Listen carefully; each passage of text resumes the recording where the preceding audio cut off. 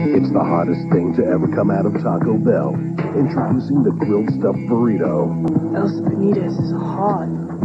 Yeah, but take away the grilled stuffed burrito, and what do you got? Just another international swimsuit supermodel walking through a Taco Bell parking lot. Inside it's sizzling with flavors melting together. Outside grilled crispy and delicious. The new grilled stuffed burrito. Grilling makes it better inside and out. Hey guys. That's one incredible burrito.